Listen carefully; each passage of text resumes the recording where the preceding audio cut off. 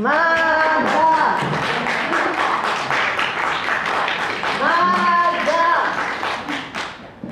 Do domu! Było zaraz potem. Obiad! Czasami. Na całe podwórko. I kilka sąsiednich. Połowę dzielnicy. Dziś ledwo usłyszałam ją z kuchni. Magda, choć no, nie ma siły kropki ukroić.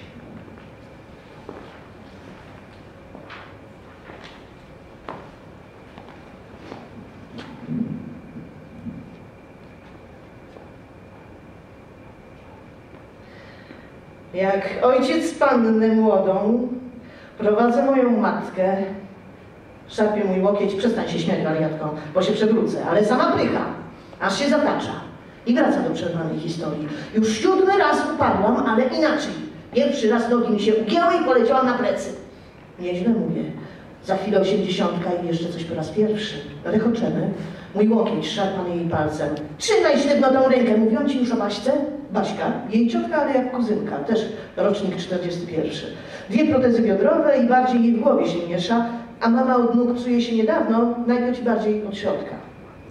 Opowiadałam jej wcześniej, jak na makaronie jechałam z rąbnięciem głową o podłogę, to teraz zadzwoniła powiedzieć, że bardziej upadła. Matka upadła, ciotka upadła, co za rodzina. Mamroczę pod nosem i pilnuję, żeby nie iść za szybko i nie robić za dużych kroków. Wracała z rodziną z pogrzebu, upadła na schodach ruchomych i poleciała na tych, co przed nią, wyżej jechali do góry, więc też się poprzewracali. Czyli padła do góry, upewniam się. Ale rzeczywiście do góry. Chcieli te schody wyłączyć, ale nie ma przycisku. Więc Baśka kulą hamuje i wciska ją między stopnie, a kula od skoki leci daleko, a oni leżą. I wtedy baba z psem po nich przełazi i wrzeszczy, że zaraz ma pociąg i strasznie się spieszy i lezie.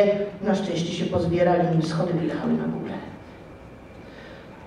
W południe mama chwaliła się bratu. Rano do toalety poszłam sama dwa razy. Teraz ją znowu prowadzę, jak pannę młodą jej ojciec. Przed drzwiami zostawiam ją samą. Mówi, zawołam jak skończę. Jeszcze nie potrzebuje mnie w środku.